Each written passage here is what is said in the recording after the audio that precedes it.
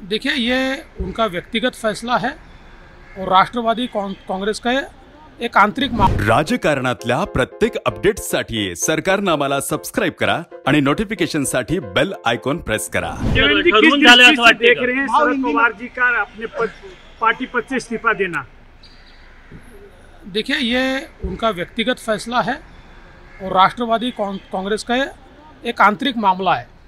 और इस समय उसके ऊपर चर्चाएँ भी चल रही है, मंथन भी चल रहा है।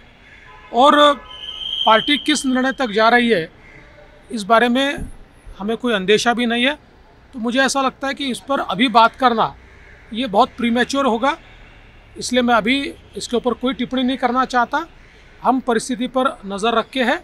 उचित समय पर इस पर बोलेंगे। क्या संशय की दृष्टि से देख हैं ऐसा कहा जाता है पवार साहब की बातें दो दिन बाद समझ में आती है तो महाराष्ट्र की राजनीति में क्या इसको संशय की दृष्टि से देखा जा सकता है? इसीलिए तो मुझे ऐसा लगता है कि हम लोगों ने राह देखनी चाहिए कि ये क्या हो रहा है क्यों हो रहा है ऐसा क्या होने वाला है ये सारी चीज़ें जब तय होगी उसके बाद ही इसके ऊपर हम कमेंट देंगे राजकारणातील प्रत्येक अचूक बातमीचे सर्वात आधी अपडेट्स मिळवण्यासाठी सरकारनामाच्या सर्व सोशल मीडिया प्लॅटफॉर्मला लाईक फॉलो आणि सबस्क्राईब करा.